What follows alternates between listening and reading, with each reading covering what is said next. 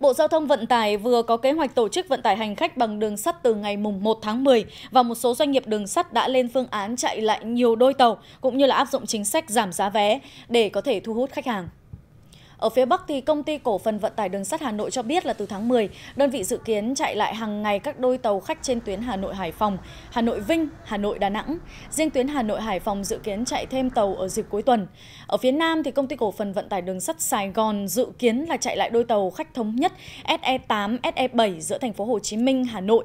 Bên cạnh đó thì để thu hút hành khách, các đơn vị cũng đưa ra nhiều chương trình giảm giá từ 7 đến 10% tùy theo mác tàu, loại chỗ và ngày đi tàu trong tuần.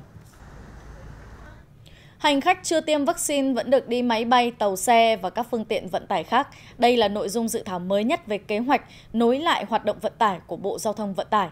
À, tại dự thảo mới thì Bộ Giao thông Vận tải à, chỉ yêu cầu hành khách phải thực hiện nghiêm 5K các quy định về phòng chống dịch và khai báo y tế theo quy định của Bộ Y tế và bỏ điều kiện phải tiêm hai mũi vaccine, trong đó thì mũi một ít nhất là 14 ngày hoặc là F0 đã khỏi COVID-19 hoặc là xét nghiệm âm tính trong 72 giờ.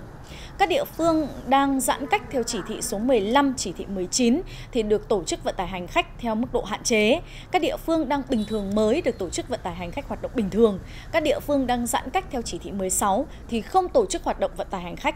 Tuy nhiên các sân bay nhà ga đường sắt được hoạt động và tiếp nhận hành khách để đi đến các địa phương không áp dụng chỉ thị 16.